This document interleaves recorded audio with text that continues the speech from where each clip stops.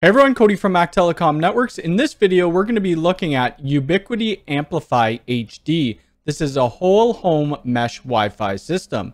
If you're new here, please hit the subscribe button. Make sure to hit the bell icon. If you'd like to hire me for network consulting, visit www www.mactelecomnetworks.com. You'd find us on Instagram at Mac Telecom Networks, and we have a Discord server and Amazon storefront, and I'll put a link in the description below. For the last week and a half, I moved my main network over to the AmpliFi HD system, and I have to say it works great. You would want to use a mesh type system if you can't physically wire a cable to an access point or to your end devices. So let's take a look at what comes inside the AmpliFi HD. First up, we have the AmpliFi router. This features an adjustable full color touchscreen display. On the bottom of the AmpliFi router, we have an adjustable LED that is fully lit by default when the router is configured and ready for use. On the back, we have four 1 gigabit Ethernet interfaces, and then we have a 1 gigabit WAN interface. We also have a USB and then our power input. We have a reset button on the bottom of the AmpliFi router. Next, we have two mesh point antennas. On the front, we have this LED, which will show us our signal strength to the AmpliFi router. And we just plug these mesh points into our power receptacle. It comes with some cards for a quick start guide, a power cable, and then a flat ethernet cable. All right, now we've seen what comes in the box with the AmpliFi HD. On the back of the box, it says that it covers up to 20,000 square feet. My house is only about 2,000 square feet, so I can't put that to the test.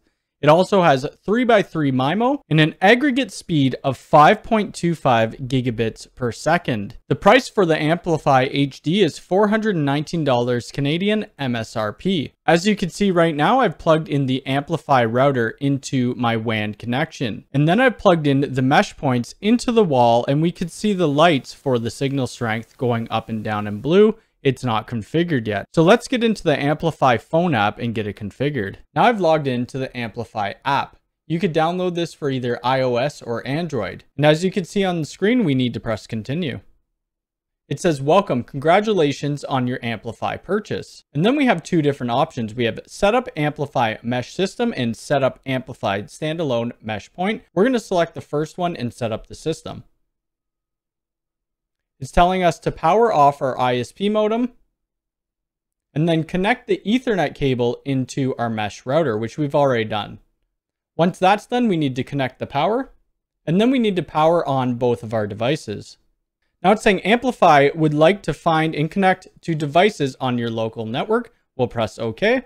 And we can see the app has found the AmpliFi router and I'll click on the AmpliFi router HD. And that was pretty easy. We've connected to the AmpliFi router and it's asking us to put in a wireless name as well as a wireless password. So I'm going to go ahead and do that. I'll call this YouTube. And then we'll do a password of test1234. And then we'll verify the password of test1234. So we could reuse the same password for administration, which isn't a good idea. So we'll turn that off and then we'll create a new password.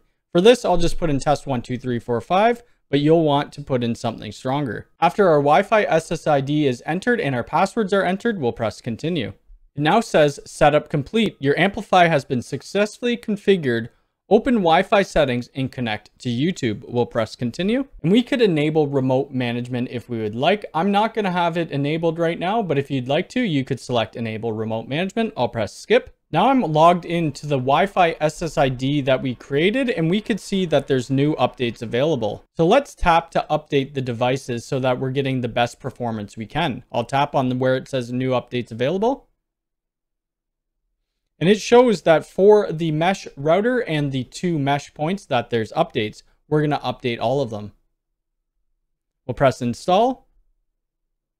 And once that's done, we'll look through some of the settings. Now the firmware update has completed. We could see that everything is great and the system's been up for eight minutes. Now we could see the settings of each device. We'll start with the router first. So we'll just click on the router and then it's going to bring up a settings page. So we have general, internet, wireless. We have the LCD screen and the LED brightness. We have night mode and we could have when the night mode begins and ends. We also have this Wi-Fi protected setup, which enables for two minutes. That's if you want to use WPS functionality. So let's start at the top. Let's see what's under general. Here we could select the device name for our router and our time zone. We could also turn up or down the sound effects that the mesh router makes when it has firmware updates that are completed. We could locate it, which would just make a flashing light, change the password, reboot, and then we could do a factory reset. Under internet, this is where we're going to specify what it uses. So my AmpliFi router is getting its IP from DHCP, but you could specify static IP or PPPoE.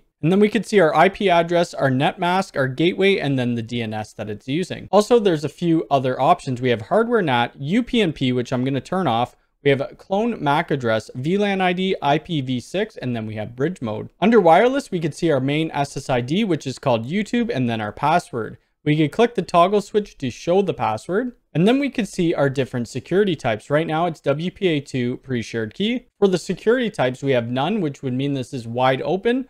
WPA pre-shared key and WPA2. We could hide our SSID and then we have our guest Wi-Fi. So under our guest Wi-Fi, the SSID just automatically creates YouTube-guest, but we could change this and then we could add a security type to it. Under other, we could specify the country and then we could do band steering, router steering, and then check on advanced. On the advanced, this is where we could do our channel selection and our channel width. So it's set by default at channel 11 on the 2.4 gigahertz and channel 40 on the 5 gigahertz at channel width of 80 megahertz. Now clicking on one of our mesh points, we could see our signal strength and we're at minus 60 dB, which is great. We could see the mesh point is operating on the 5 gigahertz band and we could see the device name. And we could change the name to specify which room it's in. We could turn on or off the LED and then we could pause the mesh point altogether if we want to turn off the internet to that. They do have sound effects, so we could turn that completely off if we don't want that to bother us. And we could also do the locate, reboot, or we could look at support info. At the bottom, we have system, performance, guest, devices, and then we have diagnose. So we'll click on performance, and this would just show us a speed test. So I'll press start test. And that result is fairly low. I don't know if that's taking it directly off the WAN port of the back of the router or if it's taking it from my phone. I'll press next. And then under that menu, it's going to show us all of our saved tests. We could look at guest and we don't have guest enabled right now. And then we could see our devices. As you could tell, my iPhone is the only device connected right now. If we wanted to, we could pause all internet traffic to the devices on this. And if we click on diagnose, we could see that the WAN link is up, the IP address gateway, and the DNS. And we could also see that both mesh points are up. On screen, you could see some speed tests that I took. The one on the left, 231 megabits per second down and 183 up is on this floor. That's where the router is, as well as one of the mesh points. The reading in the middle, 323 megabits per second down and 259 up, that's on my main floor. That's where I have one of the other mesh points. And the last one is in my basement. There's no mesh points down there at all, but we're still getting 70.9 megabits per second down and 62.9 up. Like I said at the beginning of this video, I tested this out for about a week and a half as my main network. I had about 40 or 50 devices on it and had no issues at all. So if you can't physically run a cable in your home, and you need great Wi-Fi coverage, I would highly recommend this system. If you have any questions about this video, please leave it in the comments below. If you like this video, please hit the thumbs up button. If you're new here, hit the subscribe button and the bell icon. All right, thanks.